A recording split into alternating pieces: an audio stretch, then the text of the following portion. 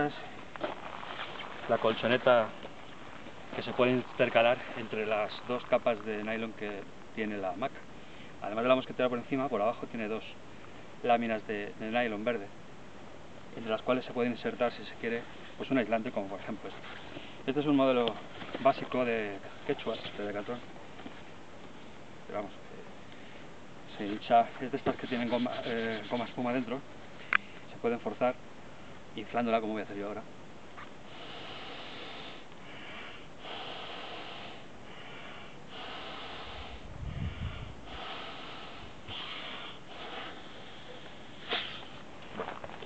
No es muy gruesa, de unos 2 centímetros y medio, pero es suficiente para aislar la espalda del suelo, sobre todo en invierno, que el suelo irradia mucho frío y te puedes quedar bastante fresquito dentro de la hamaca.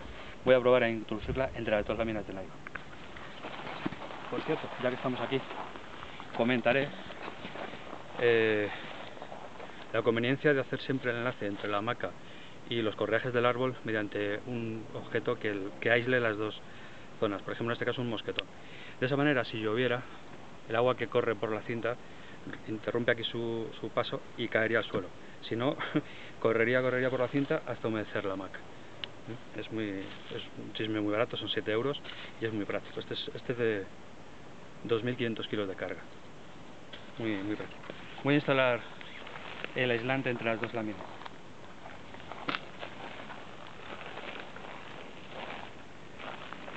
Las dos láminas están separadas entre sí con un velcro como quizás se haya oído. Pues nada, simplemente la coloco en posición.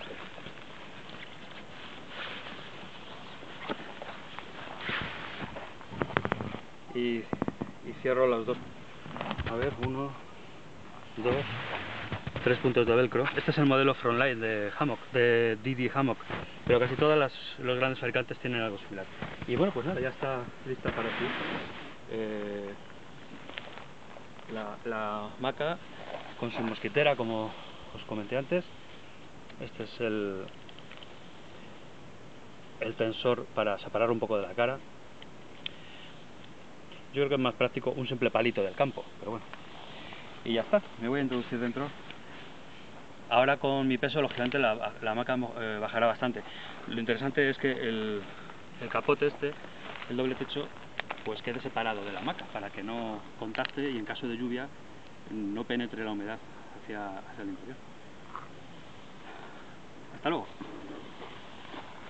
A ver si se cae.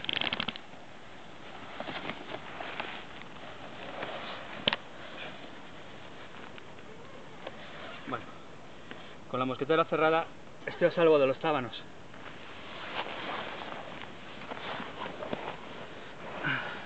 Buenas noches.